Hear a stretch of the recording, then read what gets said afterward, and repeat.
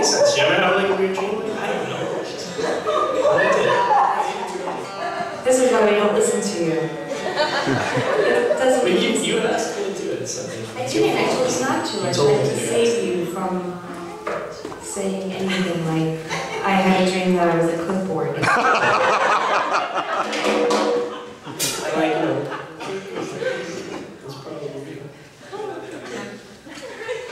Anyway.